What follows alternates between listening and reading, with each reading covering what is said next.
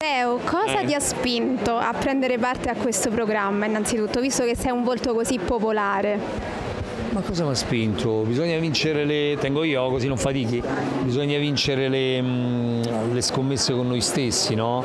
Io ho fatto il cantante mascherato, grazie a Dio ho vinto cantando, ho fatto 30 cose come conduzione, ho fatto il comico, faccio cabaret, faccio teatro.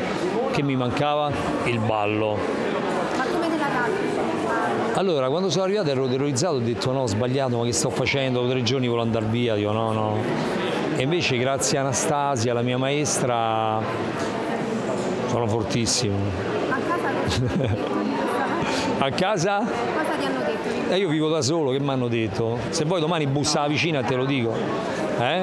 No, mia figlia, mia figlia si diverte, è contenta, dice mi raccomando papà, è contenta, però non, non c'è, non è che stia facendo una cosa divertente.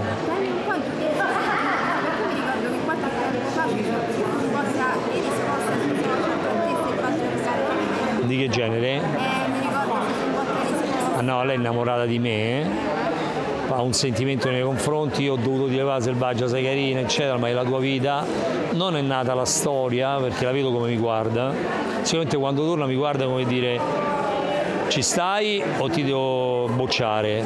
Io gli farò credere che tornerò con lei, cioè tornerò, diventerò il suo compagno e basta, gli dirò sei bellissima, tutti i complimenti, lei cadrà in questo tranello e poi alla fine dici ho scherzato, gli dirò ho scherzato, alzerò la coppa, andrò a casa. Va bene?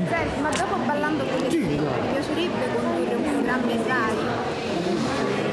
Certo mi piacerebbe il mio lavoro, è quello che so fare.